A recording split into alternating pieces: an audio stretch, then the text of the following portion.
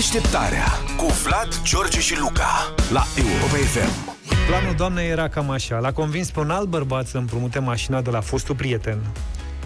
Apoi l-a urcat pe altul cu ea în mașină, da, al treilea, deci e o combinație destul de complicată, ca să o conducă, nu de alta, dar pe camere trebuia să vadă un bărbat care încalcă legea. Bravo. Deci, dacă era A o dus-o femeie, capul. nu era bine.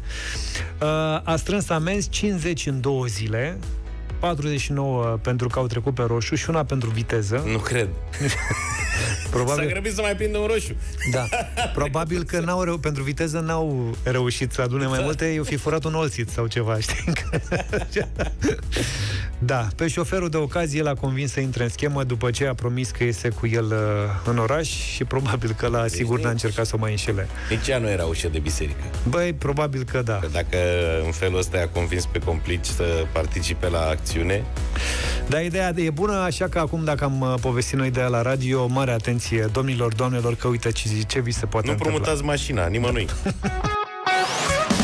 Deșteptarea cu Vlad, George și Luca la Europa FM.